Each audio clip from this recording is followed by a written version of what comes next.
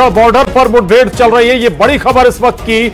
सुबह 10 बजे से लगातार नक्सलियों और सुरक्षा बलों की मुठभेड़ जारी है। बारह नक्सली, जो खबर आ रही है, बारह नक्सली अभी तक ढेर कर दिए गए हैं। मौके से बड़ी मात्रा में हथियार भी बरामद किए गए हैं, जिनका इस्तेमाल नक्सली करते हैं। सुबह 10 बजे से जारी मुठभेड़ में बड़ी सफलता जो जानकारी मिल पा रही है, मिली है सुरक्षा बलों को। खेम नारायण शर्मा हमारे साथ जुड़ गए हैं।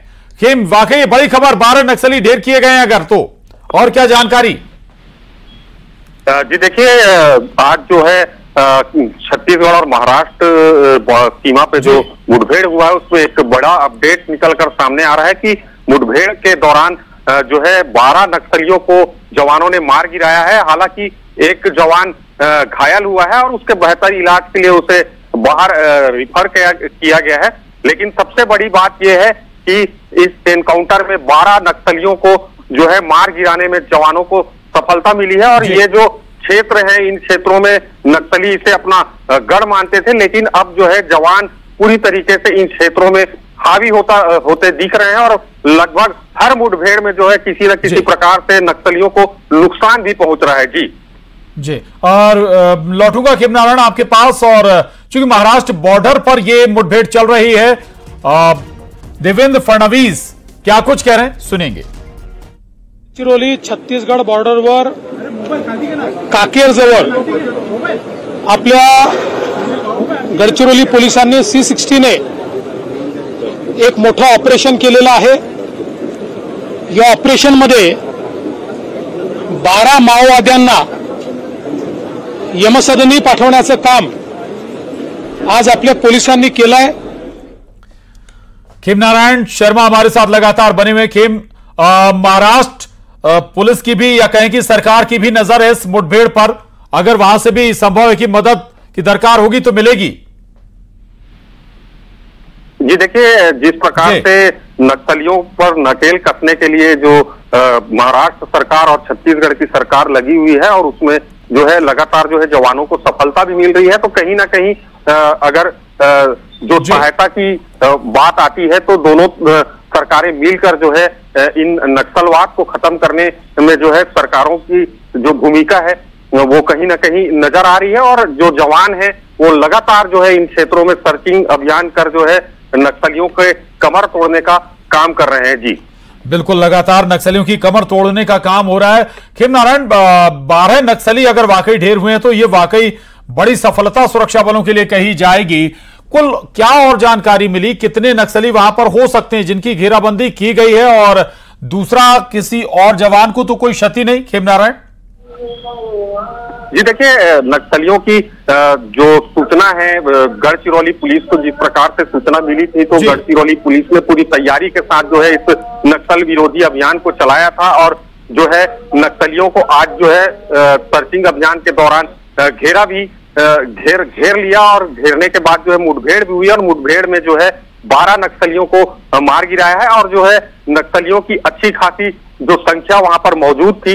हालाँकि कई नक्सली जो है जंगल की आड़ लेकर वहाँ से भाग निकले हैं और अब जो है शाम का वक्त भी हो चुका है और जो है सर्चिंग पार्टी को मदद के लिए वहाँ पर अतिरिक्त बल भी भेजा गया है। तो हो सकता है कि वहाँ मौजूद जो नक्सली हैं उनको घेरने का प्रयास किया जाएगा और जो है सर्चिंग पार्टी जो।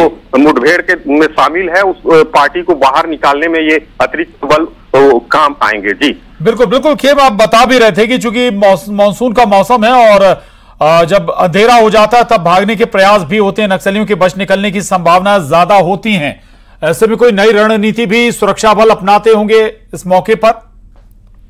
जी देखिए अब तक जो है मानसून सत्र में जो है सर्चिंग अभियान को बंद रखा जाता था लेकिन अब जो है जवानों को पूरी तरीके से तैयारी करवा कर रखी गई है और अबूझमाड़ के जंगल हो या महाराष्ट्र एरिया के जंगल हो या आ, कहा जाए तेलंगाना वाले जंगल हो उन जंगलों में जो है अब मानसून में भी जो है जवान इन पहाड़ी इलाकों में दुर्गम इलाकों में जो है अपनी जो है वहाँ पर कैंप लगाकर बैठ चुके हैं और जो है नक्सलियों को कहीं भागने का मौका भी नहीं मिल रहा है और कहीं ना कहीं से जवान इनको घेर कर जो है इनको मार गिरा रहे हैं। जी। बिल्कुल बिल्कुल। खेम नारायण अभी जहाँ ये मुठभेड़ चल रही है आप बता भी रहे थे कि भाई ये बहुत ही दुर्गम इलाका है और ये दरअसल जहाँ नक्सली अपने आप को सुरक्षित मानते थे। अगर इनकी मांद में सुरक्षा बल घुस रहे हैं तो फिर ये क्या संकेत देता है?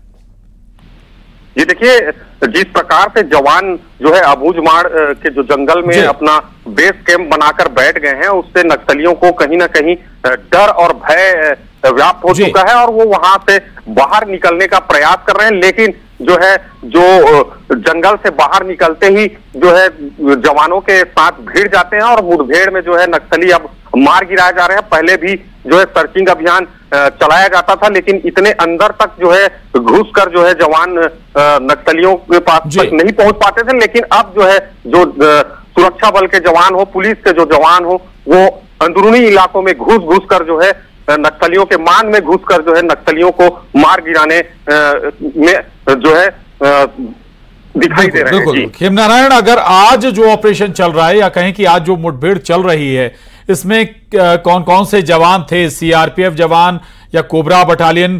क्या कॉम्बिनेशन था जो आज इस मुठभेड़ को या कहें कि आमना सामना कर रहे हैं नक्सलियों से टीम?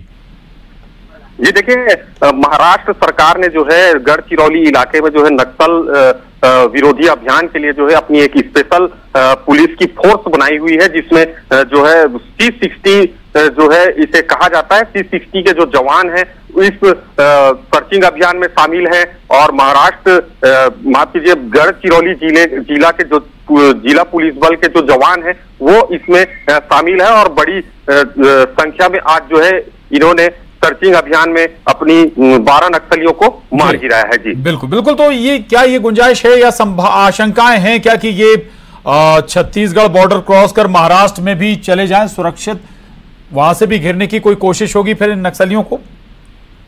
जी देखिए नक्सलियों को इसलिए वो एरिया को सुरक्षित मानते थे क्योंकि वो अबूझमाड़ का जो जंगल है अबूझमाड़ का जंगल काफ़ी दुर्गम और पहाड़ी क्षेत्र होता था और कई राज्यों की सीमाएँ वहाँ पर मिलती हैं जैसे छत्तीसगढ़ है महाराष्ट्र है और कुछ ही दूरी पर जो है तेलंगाना स्टेट की भी सीमा वहाँ पर मिलती है तो नक्सली अक्सर ये होता था कि जैसे छत्तीसगढ़ की सुरक्षा बल या पुलिस जिला पुलिस बल अगर उन पर मुठभेड़ करती थी तो वो महाराष्ट्र बॉर्डर चले जाते थे। महाराष्ट्र में अगर पुलिस और जवान मुठभेड़ होती थी तो छत्तीसगढ़ आ जाते थे। इस प्रकार उनको भागने का अच्छा मौका मिल जाता था लेकिन अब जो है नक्सलियों को पूरी तरीके से अब चारों तरफ़ से घिरने के लिए जो जवान तैनात हैं। बिल्कुल, यानी कि गुंजाइश बहुत कम बची है नक्सलियों के पास बच निकलने की। एक तरफ़ महाराष्ट्र की तरफ़ से भी दबाव है। महाराष्ट्र गढ़चिरौली में अगर ज़िक्र करें तो खुद देवेंद्र फडणवीस ने बयान दिया, बताया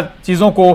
यानी कि महाराष्ट्र की तरफ़ से भी जो जवान हैं, वो दबाव बनाए हुए हैं और यहाँ भी गढ़चिरौली में सुरक्षा बल लगातार दबिश दे रहे हैं और या कहें कि लगातार ढेर करने की जुगत लगा रहे हैं जवान नक्सलियों को। बारह जो नक्सली हैं, वो ढेर कर भी दिए गए कुछ के शव भी बरामद किए गए ये इस वक्त की वाकई बड़ी खबर है और एक जवान जो घायल हुआ था उसे एयरलिफ्ट कर रायपुर लाया गया था बेहतर इलाज के लिए। लेकिन अभी अच्छी बात यही है, गनीमत यही कि कोई बड़ी कैजुअलिटी सुरक्षा बलों की तरफ़ से अभी सामने नहीं आई है।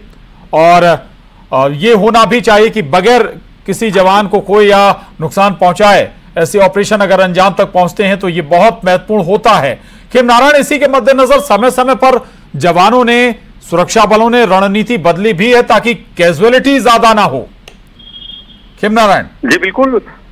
मुठभेड़ के दौरान अक्सर जो है जवानों के भी हताहत होने की खबर निकल कर आती रही है। लेकिन अब जो मुठभेड़ होते हैं, उसमें ये देखा जा रहा है कि नक्सलियों की मरने की संख्या अधिक होती है और जो जवान है, वो सुरक्षित रहते हैं और ये पूरे तरीके से ये ट्रेंड किया गया है और पूरी तैयारी की गई है कि भी किसी भी प्रकार से जो है जवानों को कोई हताहत ना हो और उनका मनोबल बढ़ता रहे और नक्सलियों से वो लोहा लेता रहे, ले, लेते रहे और नक्सलियों को ही अधिक से अधिक नुकसान पहुँचे और वो जो है जो है मुख्य धारा की ओर जुड़ने के लिए वापस आए। जी। बिल्कुल बिल्कुल दूसरा थोड़ा ये भी समझाइएगा कोबरा बटालियन या डीआरजी जो इनके ज़रिए इनमें स्थानीय जवानों की तैनाती होती है या फिर भर्ती होती है इसका फ़ायदा भी अब ऐसे मोर्चों पर मिल रहा है?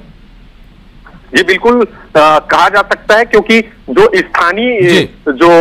रहते हैं वो स्थानीय अपने लोकल भाषा को समझते हैं लोगों को जानते हैं और जो भौगोलिक क्षेत्र है उस सब चीज़ों को वो समझते हैं। इसलिए जो है लोकल अ, लोगों की पुलिस में भर्ती कर। एक बटालियन बना दिया जाता है जैसे डीआरजी है कोबरा बटाल बटालियन है कोया कमांडो है इस तरीके से बस्तर में भी जो के जंगलों में जो है ये अपना जो है सर्चिंग अभियान चलाते हैं और जो सुरक्षा बल के जवान ठीक है